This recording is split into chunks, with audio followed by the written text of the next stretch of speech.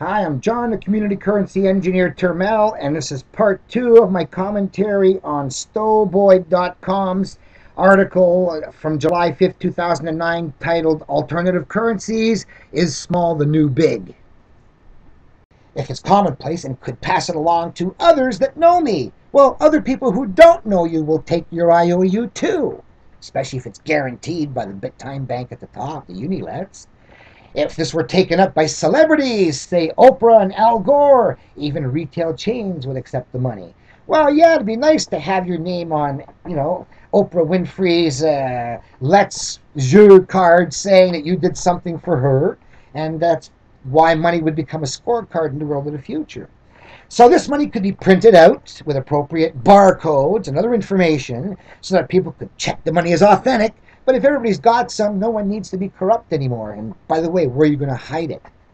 And what it stands for and who stands behind it. Cell phone pictures could be directed to the currency platform website, and all the info would be bounced back to the phone in real time. Well, I remember 10 years ago at the Chicago Community Currency uh, uh, uh, conference in 1999 when I tried to get Oprah Winfrey to come because now she's on TV with poor people losing their houses all the time going, oh, it's so sad. What can we do? Nothing. She should have come to the conference, you know, 10 years ago. But I heard about the favors system with Sergio Lube, L-U-B, and his currency was issued by his store to his customers and anybody else, but the currency had your picture on your checks, on your currency. So that was a pretty neat uh, piece of money. First time I'd ever seen that. So, and they're still going strong, the favors system uh, with Sergio Lube. So, Oprah Winfrey. Or the money could be purely digital, being passed via messages from cell to cell. Well, sure, it couldn't. It could have been emailed, like I did when I emailed all those people, I owe you five hours, and I'm putting my debt down in my Unilets page. There, it's official. You can go look to see that I acknowledge I owe you five hours for what you gave me or 20 for those four nights in one place. So, um, I might, okay, such an open money platform would support all the varieties of tinkering with the chips. For example, I might opt for demurrage, a really stupid idea, on my Stowe bucks, meaning that the value of the bucks decreases a little bit every month. Yeah, you gotta keep checking to see what his chips are worth. They ain't worth the same thing all the time, and he thinks that's a smart idea. Incenting people to spend it quickly. Yeah, let's get rid of his bucks. They're losing value all the time. Or to convert it back to dollars. Yeah, let's get rid of his Stowe bucks. They're pieces of trash. You can get Turmel's one hour bills that are always worth 60 minutes. Or you can get the Stowe bucks that keep losing their value. What do you want to keep?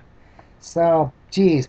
Also, others could accept these Stobucks and turn them into their own personal money through the platform. Well, yeah, deposit them in your account. Sure, sure, sure. I find it interesting that nothing like this has emerged. Well, you ain't been looking much, which is one of the reasons I'm working on the neo.org project. so he's bringing a lot of not knowledge to the project, right? Sad. This means that successful alt cash is not going to be used by all members of some locality because it will have to be partisan. Those who don't agree with what the money stands for will not use it. Those that do use it will agree with the principles it stands for and are opposed to the interests of those that the cash is designed to counter. Now, to really show what this means, we're going to replace alt cash with chips. And we use the word chips so that people who can visualize poker chips in their mind are going to be able to try and figure out what this man is saying, okay? I'm going to read this again now. This means that the successful chips are not going to be used by all members of some locality because the chips will have to be partisan. Those who don't agree with what the chips stand for will not use the chips. Those that do use the chips will agree with the principles the CHIPS stand for and are opposed to the interests of those that the CHIPS is designed to counter. Wow! Confusing, isn't it? When you don't talk about chips. Future philanthropy might come in the form of alt cash. Imagine if the Google twins decided to create Google Bucks a purely digital money backed by a few of their countless billions where a penny per dollar would be diverted. Oh, forget your diversion all the time, your charities.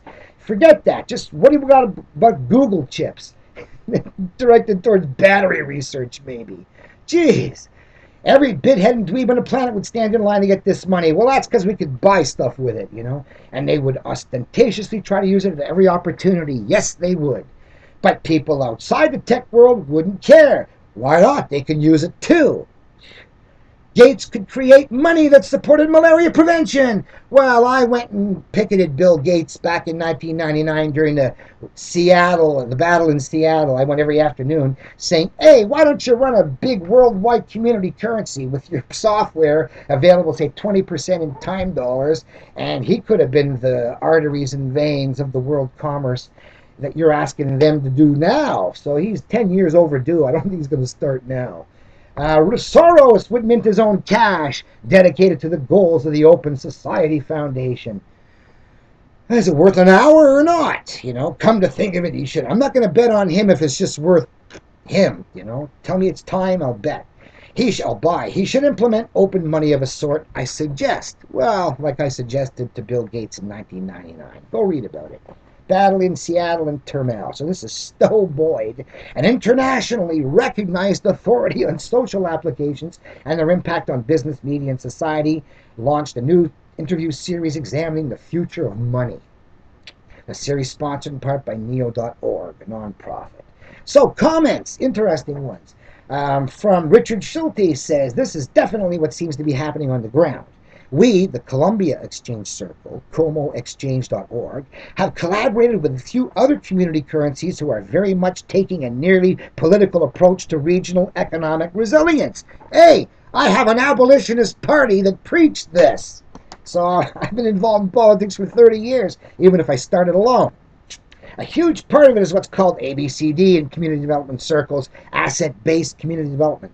The idea is that CCs can be used as a tool to expound upon capacities, the skills, the knowledge, the passion, and hard work with which communities function day to day.